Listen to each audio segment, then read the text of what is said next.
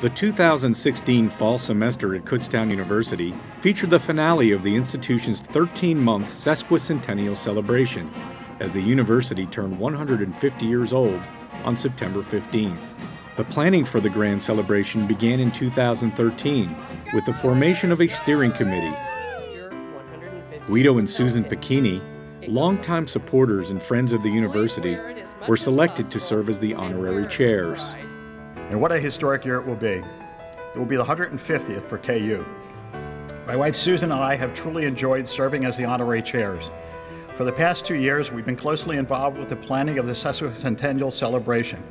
In fact, the 150th Steering Committee and six subcommittees, comprised of a total of 40 faculty, staff, and students, have spent countless hours preparing for the next 13 months. The intent of the celebration was to honor KU's 150 years of excellence to raise the university's profile throughout the region, and to build a sense of internal community and pride among the Kutztown University family. After two years of planning, the celebration kicked off in August of 2015 with the unveiling of the mural in Schaeffer Auditorium by KU student Benjamin Hoffman titled Celebrating 150 Years of Music Through Public Art. Two days later, as students arrived to campus for the new school year, they were greeted by sesquicentennial banners and 150th year branded items throughout campus, and the addition of the alma mater and the iconic Old Main Clock Tower, which continues to play every day just after the noon hour.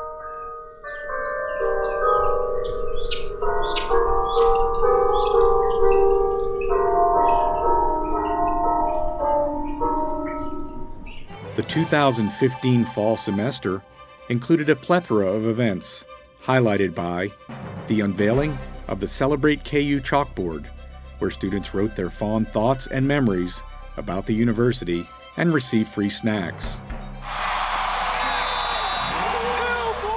The celebration of 100 years of Golden Bear football, which culminated with the naming of the all time team in November and the return of more than 100 football alumni to the home season finale. This is one that I call the Academic Sesquicentennial Series, a 13 event program running throughout the entire academic year. The series spanned all four colleges and featured guest lecturers, performers, and educators. The first of three Sports Fest was held in September. These were events to encourage students to attend home events for many of the NCAA varsity sports teams, which included special giveaways. All of the Golden Bear teams recognized KU's 150th through uniform patches, warm up t shirts, and other team apparel.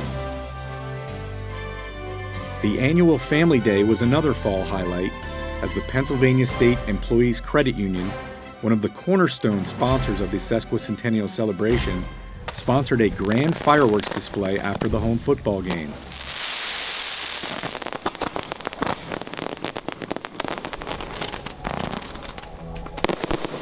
The weekend began with the sesquicentennial 5K cross country run as more than 75 runners braved chilly conditions to compete on KU's scenic North Campus course. KU Presents also got in on the act, highlighting the performing arts through several special shows throughout the year.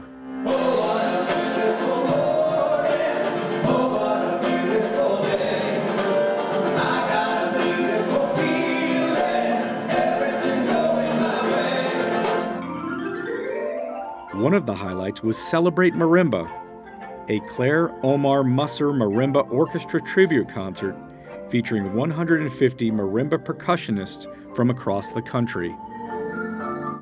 In October, a history display was unveiled in the renovated Old Main Concourse. Located in the historic center of campus, the display features rare memorabilia and photos from as far back as the university's founding days as Keystone State Normal School.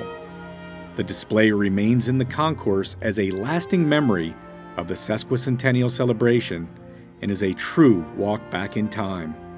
One of the lead-off events of the 2016 spring semester was a themed New Year reception for faculty and staff among the historical artifacts in the concourse. The centerpiece, however, was the April 15th inauguration of Dr. Kenneth S. Hawkinson, who began his tenure in July as the 12th president of Kutztown University.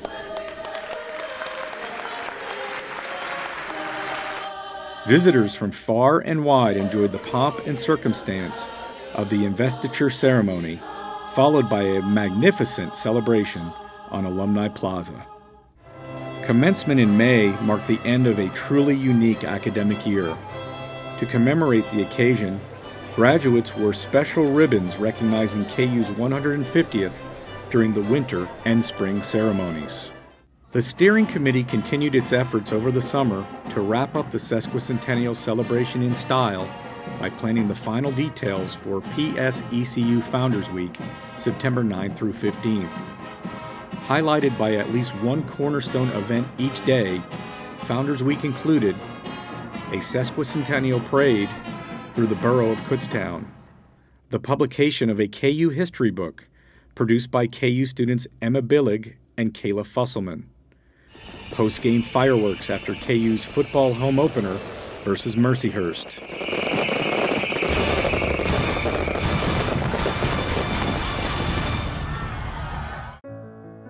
a celebration for students, hosted by two time Mascot Madness champion Avalanche, a 5K cross country race, and the Founders Day 150th birthday party hosted on the lawn across from Old Main, where the university was founded in 1866. A time capsule, which includes many items representing present day KU, will be placed in Alumni Plaza and is scheduled to be open at the university's bicentennial in 2066. The Kutztown University Sesquicentennial was a true celebration of the institution's unrivaled past and unlimited future.